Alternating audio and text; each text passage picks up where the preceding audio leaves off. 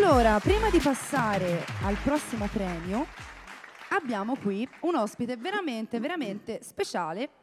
Signore e signore, al Pegaso Film Festival, l'attore e comico toscano Gian Maria Vassallo. Quanti tu ne dai di tutti questi appellativi? Buonasera, buonasera, buonasera a tutti. È partito in ritardo l'applauso, già sembra dalla casa di carta. Si rifà tutto, rimanda indietro tutto per cortesia, rimanda indietro perché questa è la prima edizione, giusto, di questo festival. Allora deve essere per come si deve. Qui dietro mi hanno messo angoscia in questo silenzio. Sembrava o che mi volessero tirare la labrata o che facessero un applauso che non era sicuro. Si riparte. Vai, dirette, dire- Sì. con verve, direttamente dal terzo piano di condominio. Gian Maria passa. Vai. Signore e signore, Gian Maria Vassallo. Oh, grazie per questo applauso spontaneo fatto a mano. Buonasera, buonasera cara, grazie, grazie. Chiedo scusa tanto a chi darò le spalle, eh, però questi.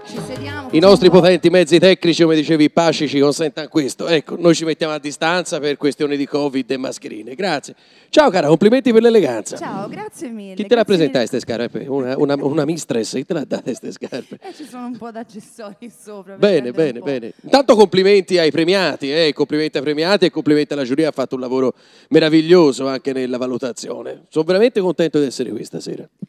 Facciamo un po' di salottino, sei pronto? Accidenti, tra te e la venuta si sa, un cambia nulla. Vai, vai, Allora, dimmela. ehm, non abbiamo potuto mandare l'estratto, ragazzi, però c'è praticamente Mm. c'è stato uno spettacolo che Mhm. è eh, Dante e dintorni. Perfetto. Questo tu l'ha pronunciato bene. giusto? che stronzo che sono. Tu veramente una merda. In questi giorni si è parlato molto, visto, del sommo poeta per i 700 Sì. anni della sua morte. Mhm. Come nasce questa tua passione per Dante? Come nasce la mia passione per Dante? La mia passione per Dante è nata da un profondo senso di conoscenza di quello che la Toscana e Firenze avevano da offrire. Perché tu sai se un pochino tu hai visto un po' le, le cose, le cose un po' che ho fatto, eh, si cimentano sempre molto su una ricerca d'archivio di questa, di questa Toscana che non esiste più, di questa Firenze un pochino nostalgica, no? e si cerca un po' alle nuove generazioni, come può essere la mia, ma anche quelle più giovani di me, di, di cercare di tramandare no? questi messaggi. E, e lo si cerca di fare in tutto. Su Dante ovvi- obiettivamente c'era da porre un minimo l'accento, è stata una delle prime cose perché tra l'altro è stato uno spettacolo che mi sovvenne nel 2013 e dal quale l'anno dopo ne conseguì una pubblicazione editoriale, che era lo stesso, lo stesso libro, ma il, il Consiglio regionale della Toscana poi decise di, di promuoverlo come pubblicazione editoriale. Quest'anno era il caso di ritirarlo fuori e quindi servendovi di magistrali riprese di Matteo Vanni e di una, e di una mitica regia di- della, della Consuelo si è fatto un bel lavoro, perché da solo naturalmente potevo, potevo farmi video selfie, ecco, non, di più. Però insomma su Dante c'è stato un, bel progetto che se appunto i, i DPCM ci porteranno consiglio quest'estate sì, si spera di poter fare qualche cosa. Dai. Speriamo, Sì. questo speriamo davvero. Sì, sì, noi le date le si fissano, poi di chi è che le si facciano, va bene. Bene, bene, bene. Mm, nel maggio del 2016 hai Oddio. pubblicato il tuo primo album Ah, ok, sì. dal titolo Toscano per caso, Sì. Che poi è diventato anche uno spettacolo teatrale Mhm. che unisce la musica e l'ironia per raccontare la toscanità. Ma Accide, come la studiavo. cosa Accidenti. significa Eh. per te essere un toscano per caso? Allora, partiamo da questo. Toscano per caso è forse un po' una forma ironica per dire più toscano di che c'era dentro che il CD non c'era nulla, insomma, via, c'era, ci manca un moccolo e poi più toscano di quello c'è. Però è, pro- è proprio per quello, c'è l'ironia, la presa in giro di un, eh, di un toscano che per prendere in giro l'altro deve prendersi per primo in giro se stesso, quindi eh, è logico che anche il, il titolo deve avere una forma ironica, no? per parlare appunto proprio di tutta Toscana. Forse non è un caso che il mio cognome diversamente toscano faccia vassallo, no, è pure importante, è una, è una delle prime cose che devo giustificare non appena parto uno spettacolo. Io sono fiorentino da parte della mamma, siciliano da parte di un amico di mio babbo e quindi... Di un amico. Vanni, perché stai ridendo? Non si ride sulle tragedie delle famiglie, ti si vede, ti si vede anche dalla mascherina. Vabbè, questo è un po' Però è stato un bel lavoro perché anche lì si ripercorre un po' questa comicità toscana di questi, questi cabaret degli anni venti, queste follie bergère di, Firenze che facevano venire fuori questi primi, questi, questi primi nudimenti della nostra comicità. Si parla di Giulio Cinanni, un un cabarettista antelitteram eh, per seguire a Spadaro, anche lui si è fatto tanti lavori su Spadaro e poi insomma quella che è invece la nostra battuta, nostro, la nostra canzoncina sagace, irriverente. Sì, me lo porto nel cuore e spero di portarla anche a giro a Covid finito. Sempre a Covid finito, speriamo. Finisco sempre così, finisco sempre così. Giustamente, giustamente hai ragione. Mm, sei stato definito l'erede... Mai stato rifinito io. Ah, sei stato definito? Sei stato eh, non, non sento. Se, ah, via. Eh, sì, sì, sì, sì, sono stato definito. stato definito. Sì. L'erede naturale della tradizione dello stornello uh. popolare, uh. resa famosa da Odoardo Spadaro. Allora, no, no, capiamoci, patti bravo, amicizia lunga. Allora, quando te guardi in telecamera e tu dici Odoardo Spadaro, come dire? O un erimi vicino gli è morto l'anno scorso? No. Allora, Spada. Allora, riparti. Detto, Te ora, sei ora definito, sbaglio. insomma, portato no, da Odoardo Spadaro. Odoardo Spadaro. Oh, ora sì, ora sì, che te ben conosci. Eh, quindi si sì. sa, si sa. Ecco, dimmi. Mm, che cosa ti ha spinto a esplorare questo mm. mondo che oggi ci sembra così distante? Allora, dovevo far conoscere a, a, coloro che citano Edoardo Spadaro e credano sia il vicino che è morto l'anno scorso chi fosse Edoardo Spadaro.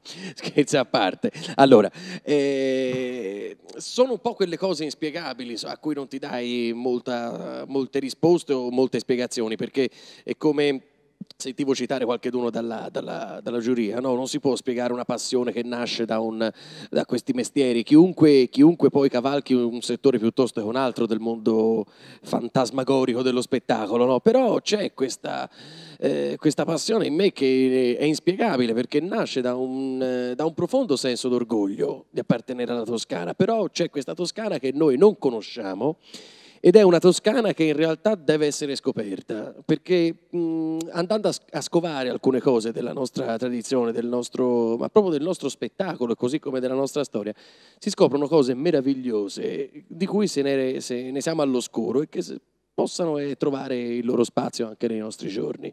Quindi è un po' questo, sono una piccola goccia nel mare, ma che lotta insomma, per tenere vivo eh, quello spada, Spadaro? Sì, che alcuni non conoscano. Ecco, sì, sì. Ti, ti, vado avanti. Vai avanti pure, vai, vai, tranquilla. Quando hai capito che volevi fare questo tranquilla? Dici, tanto ora vedrai. Non mi guardare con gli no, occhi no. dell'amore, ho la mia compagna è, è collegata, su, forse. Quando hai capito Non la vedete, volevi... ma insomma... No, perché mi fai ridere. Eh? Perché avevo la faccia a cubo, lo sapevo da me, ma non importa sottolinearlo. Dimmi, dimmi. dimmi. Oh, quando hai capito che volevi fare questo lavoro? Da quando sono nato. Prima ancora, no, è vero, è vero. Dalle elementari insieme. Ma guarda, ti, ti, ti, dico, ti dico... Era lui e faceva Ulisse. Ero io e facevo Ulisse. Ero io e facevo Ulisse. Ero io, no, no, è vero, è vero. Perché ritorno a quello che ho detto prima, cioè questi, questi lavori o ce li hai innati oppure non, non ti ci trovi per... Certo. Ci si può anche trovare per caso, però ci deve essere anche una predisposizione non si va come alle poste o come, o come, a fare qualsiasi altro lavoro normale, tra virgolette, dai, questo ci, ci, deve essere una vocazione. Io ero piccolino e al mare dove andavo io c'erano gli animatori che la sera intrattenevano gli ospiti dell'albergo dove andavamo al mare e in questo piccolo palchettino era un, eh, era un marciapiede, era un, uno stacchettino, ma che mi sembrava un mondo parallelo, no? tra, sale, tra, tra, lo stare sotto quello scalino e salire su quello scalino, cioè, cambiava una dimensione eh, che tutti, insomma, chi, chi, fa questo, chi, fa questo, mestiere può testimoniare. E io ricordo che avevo ancora il ciuccio e ancora i miei genitori me lo raccontano, che io rimanevo incantato così a guardare questi personaggi che venivano fuori con un travestimento, poi venivano fuori con un altro travestimento tutti i miei amici con i pannoloni erano a fare le formine con i propri genitori, io invece mi facevo portare lì, era, pare che fosse l'unico momento in cui stavo zitto. Mm. Piccolino, piccolino, piccolino. Piccolino, piccolino, piccolino. Poi sono andata alle elementari e la maestra mi voleva far fare Ulisse e io gli dissi, guarda, faglielo fare a chi è meglio di me perché io con, con Ulisse me la dico, io sto meglio tra, pro, tra, tra i proci. Tra i proci. I proci. Mm. Parliamo di riconoscimenti. Hai ricevuto Cazzo ridi tanti... Hai ricevuto tanti riconoscimenti. Qual è il più significativo per te? Eh, il riconoscimento più grande è... Posso fare una frase fatta ma che sento particolarmente? Perché non vorrei fare veramente fare le solite pappardelle, non, non è il mio stile, penso si sia visto. Eh, il riconoscimento più bello è quando ho tanta gente davanti che mi segue agli spettacoli. Quello può, può essere il riconoscimento più bello. Poi ti potrei parlare di, di, di premi di Firenze, il Fiorino d'Oro, ti potrei, ti potrei, parlare veramente di tanti riconoscimenti istituzionali che naturalmente nobilitano tutto quello che fai perché magari danno, vieni riconosciuto anche per un senso no? che anche altri certo. danno al tuo operato.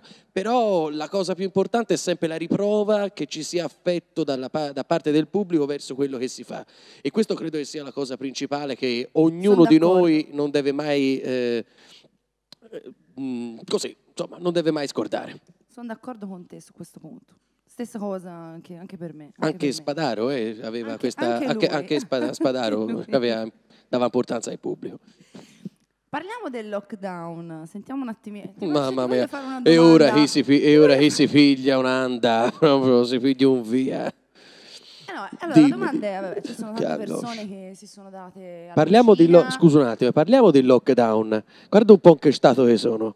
Guarda, guarda, si riesce a prendere un profilo? Lo prendi? Consuelo, lo prendi il profilo? Questo è il lockdown. Io voglio ringraziare prima Conte e poi ora Draghi non tanto per l'economia, quanto l'economia sui mangiare le è andata a finire tutta lì.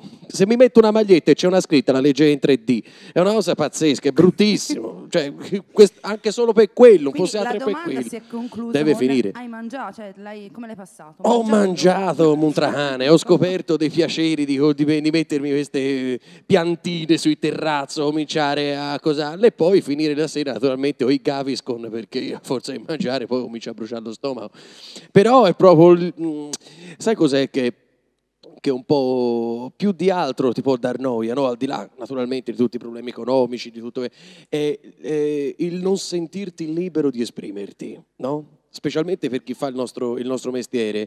Eh, c'è sempre una libertà che noi bramiamo, eh, sempre ovunque, no? e laddove il nostro mestiere prevalentemente si svolge la sera, eh, al calare del sole, quando ti ritrovi in una situazione inspiegabile dove al calare del sole sei chiuso in casa e non ti puoi muovere, ti cambia la vita e quindi o sei pronto a questa cosa o la prendi in un modo diverso e quindi ti butti a mangiare per la depressione. Ecco.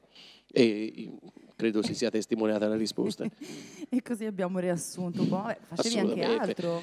Scherzi a parte, guarda. Eh, Ora se scherzate il riso su Spadaro, però sto facendo progetti importanti sulla figura di quest'artista perché oltre a essere quello che tutti conosciamo, eh, compresa il, l'autore del Bacione a Firenze, eh, è stato comunque una vedetta internazionale che ha portato la fiorentinità nel mondo. Io naturalmente non cerco di eh, avvicinarmi alla sua figura, ma quantomeno di addentrarmi da spettatore e cercando di riportare anche alla ribalta quelle cose che sono un po' dimenticate del nostro, del nostro spettacolo. Però tra videoclip e prossimi che poi ne vedrete dei belli anche su qualche videoclip. C'è una canzone su Spadaro abbiamo provato eh, a, a, rincidere e la faremo io e Wikipedro la faremo è, pro, è prossima sta che tu ridi si fa davvero? Ti piglio mia per il culo. Io, si fa si fa eh. sono eh, espressioni scusa. No, io vado io, tu me lo dovevi dire, io vado dalla D'Urso, dai, io non ci vengo più. No, vieni, vieni no. E, e, mi sono buttato, per risponderti brevemente, a una, a una, stesura di un libro su Spadaro, che sarà l'opera più completa della, della, vita e delle opere di Spadaro, a cui seguiranno naturalmente le pubblicazioni in concomitanza allo spettacolo che già presentai nel 2019 alla compagnia e che si spera ora, Covid permettendo, di riportare in scena. Si torna, si torna sempre lì. Ultima domanda. Ah, c'è un'altra. Se potessi dire qualcosa a te stesso di dieci anni fa, che cosa gli diresti? Allora, me l'ha fatta anche lo psicologo questa domanda e non mi sono dato risposta. Infatti ho cambiato psicologo. Eh, qui non si può cambiare intervistatrice, quindi bisogna mi dare una risposta per forza. Se dovessi dire qualcosa a me di dieci anni fa, direi di persistere, di non eh, fermarsi alle prime critiche, di non fermarsi a chi non ci crede e, eh, e di continuare a sognare. questa forse è una frase fatta quanto, quanto particolarmente sentita, perché mh, era difficile partire, specialmente giovane, giovane, giovane, a parlare di Toscana, a parlare di quando c'erano maestri importanti, insomma c'era Giorgio Ariani, Riccardo Marasco, c'erano veramente nomi eh, importanti no, del nostro mestiere, che ancora erano alla ribalta, come fai, arrivi, arrivi te ragazzino e cominci a parlare di queste cose, provi a fare il cabarettista, provi a cantare le canzoni di una Toscana d'un tempo, però in questo bisogna non demordere. Ecco, è il messaggio che ha mandato anche eh, Consuelo a inizio della, della, del festival, no? a chi a chi non si doveva battere perché non poteva essere selezionata a questa edizione. Basta non abbattersi, basta seguire i sogni e colorare la propria vita secondo i colori che ci vogliano. E continuare, continuare ad andare avanti. Covid permettendo. Covid permettendo. Gianmario, io ti ringrazio. Io ringrazio te, ringrazio. ringrazio la giuria e chi ha organizzato. Grazie per questo spazio che mi sono immeritatamente preso.